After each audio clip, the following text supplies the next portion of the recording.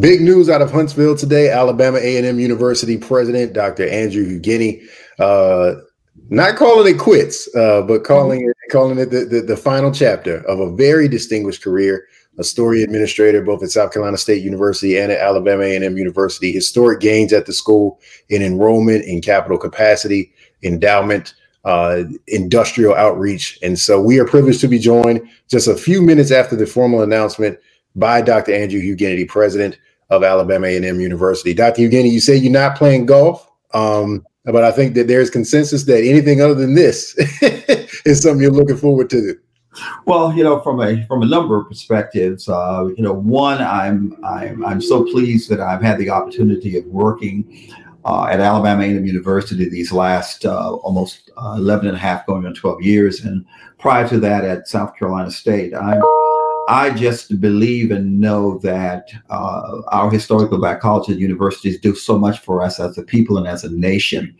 And anything that we can do to further those institutions, obviously we want to uh, we want to do that.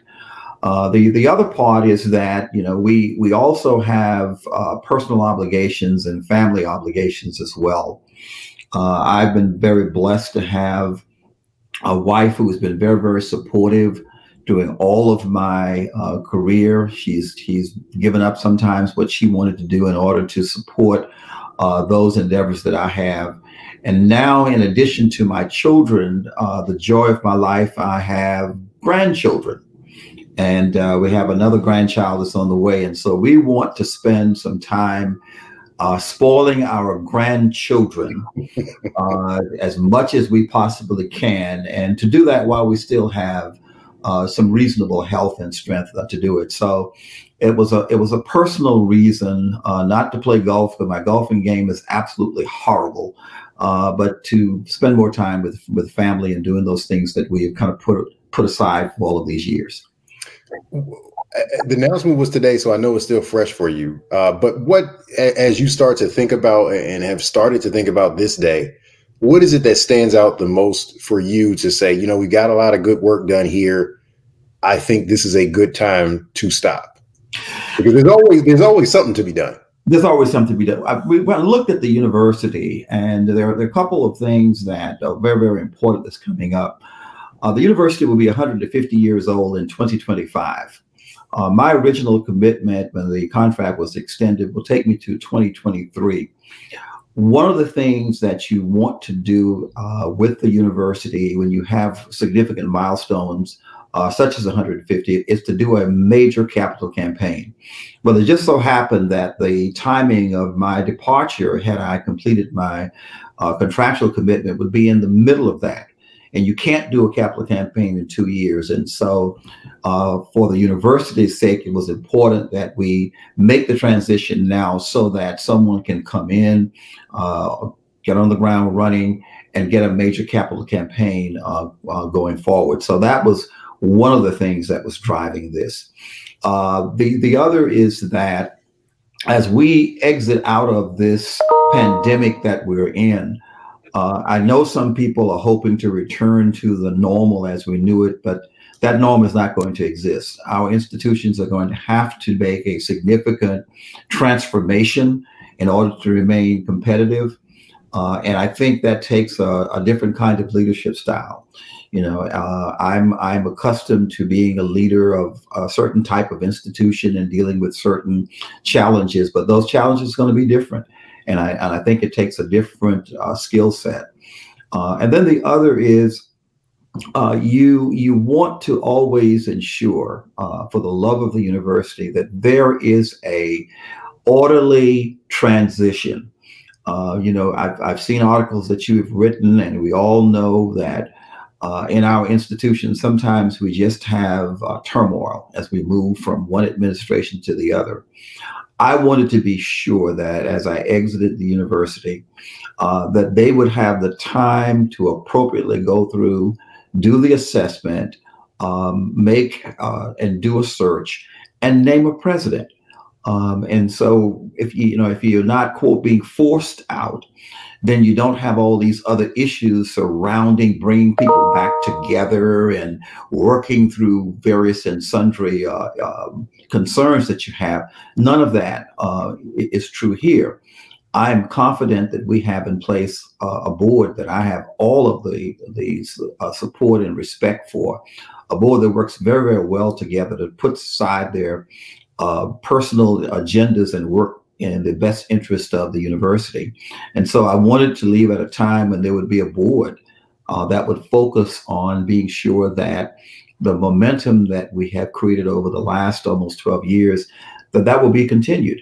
I have a personal, uh, personal interest in being sure that there is the proper person that follows me. I'm not saying who that person should be, but I have a vested interest because what you want is someone to come in and continue uh, building the university. And if you don't transition out in an appropriate way, the person has to come in and basically start from ground zero, as opposed to taking off from uh, from where we've left. Let's talk a little bit about that transition, um, because you're you're actually going to conclude in uh, following the twenty the end of the twenty twenty one academic yeah. year. That's correct. What what does a presidential transition look like, and how? And maybe it's unfair to ask, but how do you think A and M specifically approaches it? There are some institutions where the president kind of recommends someone to the board, and there are some institutions where the president said, "I don't want nothing to do with it. I'm leaving. Y'all y'all take care of it, and I don't want to seem like I'm interfering." Um, and then there are some institutions where the search firm drives a lot of the selection process. Is it is it reasonable to ask how A and M's board will work with you or you work with they to think about what what what transition looks like and and who is is prepared and and who is skilled enough to deal with some of those new challenges as you said mm-hmm. Um, the the board this is this is uh, fairly new to the board, um, and so they they've had some discussions in the past about what a transition would look like, but I don't think they are they're far enough down the road to make that decision. Um, I, I did in my conversations with our board chair, he's talked about forming a committee. So I assume that they will be um, bringing aboard a search uh, a search firm uh, so that that search firm will assist them in the process of trying to identify uh, an individual. Um, personally, from my perspective, um, you know, there there are a lot of great uh, potential individuals out there. Uh, even potential individuals that would be uh, here in, in the Huntsville area. Uh, but I don't think that it's appropriate as, as a president uh, that you um, kind of ordained whoever your successor is going to be. Uh, I see the role more as one of advising, a role that uh, would say to the board, these are the things that you should look for, but ultimately allow that board to make that decision uh, as opposed to the president saying, well, I think person A or person B would be the ideal individual uh, to do that. Uh, because, you know, institutions require different skill sets at different times in its development. Um, and so those skill sets that may have been appropriate and those skill sets that worked quite well with me from 2009 up until now, those skill sets may not be the skill sets that's needed for the university uh, as they move forward um, from 2021 uh, on. So one of the first things, obviously, the board is going to need to do is kind of decide uh, what they see as their vision, where it is that they want to see the institution over the next 10, 20 years.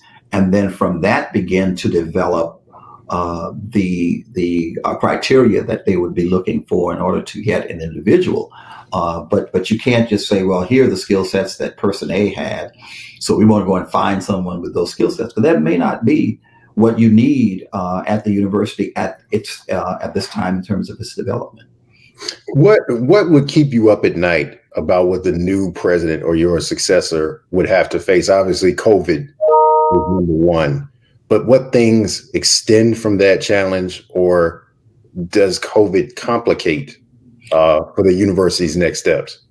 I think it complicates for the university's next step because right now we don't know what uh, how higher education is going to look and and uh, actually be after COVID. We really don't know um, because in many instances we've been forced to uh, do much of what we uh, conduct our business remotely. Our classes have now transitioned primarily to uh, being online. So the question is whether or not uh, we we have students that have the desire to return back to uh, total in-person classes, or is there some combination of the two? And and so I think it's going to require uh, an assessment about uh, where the landscape, the higher education landscape, is going to be after COVID. Uh, so that's one of the uh, you know one of the things that's there. The other issues uh, is going to be we still have funding mechanisms and funding issues that have to be addressed, um, and and so I'm uh, still up at, at, night about a person that's going to be able to come in and and deal with a limited resource institution because that's what we are, and I don't see that changing overnight. I'm encouraged by some of what I've heard, but it's not going to change overnight. We will still be an institution that have to find a way uh, to put the pieces together in order to provide a quality education uh, for our students. Uh, and then there are issues of, of student performance that we've got to uh, got to wrestle with, um, and whoever that person comes in will have to will have to deal with that. So those are just some of the the, the, ones that will, uh, of course, keep me up at night as we think about who the next uh, person will be. I gotta ask. I know this this might be a little uncomfortable, but how what role, if any, did COVID play in your decision to say, "Yeah, I'm out of here"? Uh, because you know there are whispers throughout the sector that a lot of folks were I say, you know what, this is crazy. I'm gone. Was it, it wasn't COVID. Um, the only thing that COVID did, COVID delayed my uh, decision. I really intended uh, initially to uh, make this announcement back in June. Uh, and I was going to go until the end of, um, you know, a year from June. But because of COVID, and uh, the uncertainty about starting the semester, I just felt, thought it was too much for the system to absorb the uncertainty of starting a semester, not knowing exactly how that was going to look, and at the same time also uh, dealing with, uh, you know, a presidential um, retirement. And so we delayed it to, until uh, this point in time to see uh, how things at least settle down. At least we've got our arms around how we think we may be able to navigate uh, to navigate this. But but you know, I've I've always been a proponent of the fact that you are never going to accomplish everything that you set out to do at an institution. You could work another hundred years. You're not going to do that. And uh, once you get the institution uh, at a point where it is functioning, uh, I shared with um, you know with with our board of trustees today about the strong financial standing, our uh, good academic programs, uh, excellent fundraising. All those areas are, are are are working well. That is the time to transition. You don't transition at a time when everything is um, falling apart and you know someone has to come in and resurrect it almost from the dead. That's not the time to transition. You transition when the university is in good stead. Um, and I, I, don't like to make comparisons but if you if you if you look at uh, other institutions you know the other uh, PWIs and you find that that's typically what they do. They transition uh, on a high note we tend to unfortunately transition when the, when we've got issues uh, surrounding it, and, and I did not want that. I uh, wanted to to transition at a time when a person could come in and not have to worry about quote the basics. Now there's always going to be those issues that are are unique to HBCUs, but I didn't want them to come in and have to deal with that, and so um, it was the time I thought to to transition now. And, and from another standpoint, personally, you know, I I realize my age. Um, I, I know that I'm I'm not uh, as young as I used to be.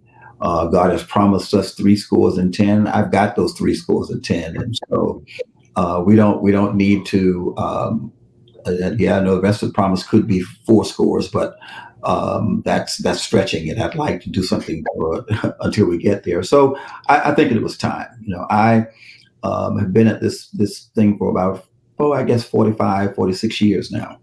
And and so there there comes a time when when you need to move on to a different phase of your life. You've seen the best and worst. You know what it's like when students, alumni, faculty love you. You know what it's like when they hate you. Um, you know what it's like when the board is tough and when the board is supportive. What is the thing that over your career you think you will miss the most about being an HBCU president? Uh, my students. I, I really, really love my students to see them come in uh, and and to see them develop and you follow their careers and you see all of the great and wonderful things that they they do. Uh, it's it's just warms your heart to to uh, to see them uh, develop to their fullest potential. And so that's the piece I'm going to miss uh, the most.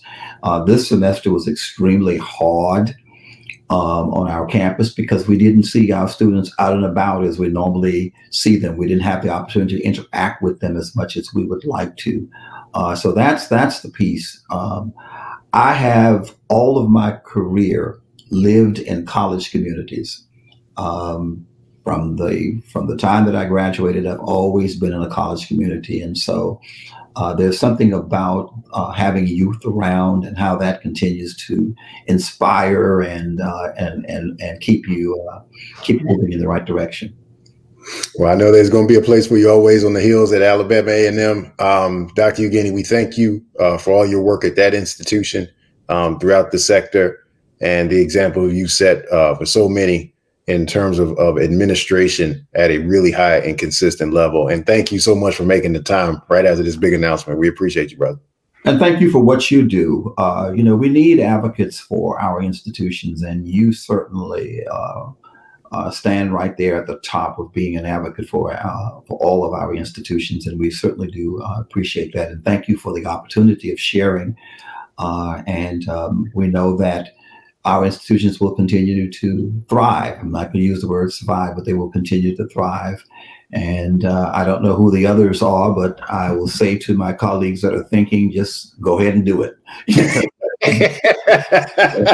yeah. Go ahead and jump. yeah, go ahead and jump. Just go ahead and jump, you know. And uh, it, it, it was very emotional for me um, because, uh, you know, I've left other positions before, but it was always going on to another uh, similar position. This was different um, because I'm actually retiring uh, from a, a, lifetime career, and uh, so that that becomes a little little challenging. But um, I'm sure that my grandchildren will make up for it.